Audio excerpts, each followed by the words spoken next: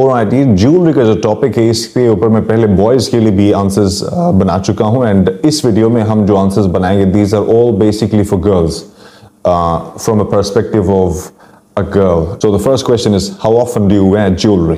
Well, I wear jewelry quite often, usually on daily basis to match with my outfits. I think jewelry can um, make a big difference and can add a personal touch to the outfit that you're wearing. I feel I can say that I, I have sort of an addiction, a jewelry addiction, and I cannot resist uh, adding uh, any new arrivals to my collection.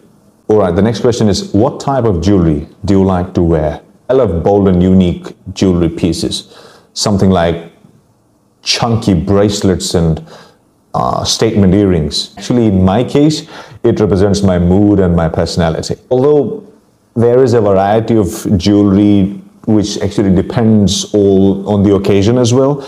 But in general, I don't go out without wearing sufficient jewelry. And what could be the idea of sufficient jewelry on a certain day? It depends on where I am going. All right, the next question is Do you usually buy jewelry?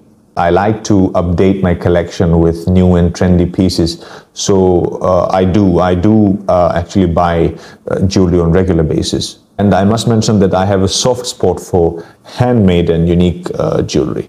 Uh, uh, recently, when I went to Hunza on, on actually a family trip, I came across a lot of handmade jewelry and purchased a lot of different pieces for myself um, because I thought that that was basically a golden chance for me because rarely, rarely do I come across uh, places where I can find handmade jewelry.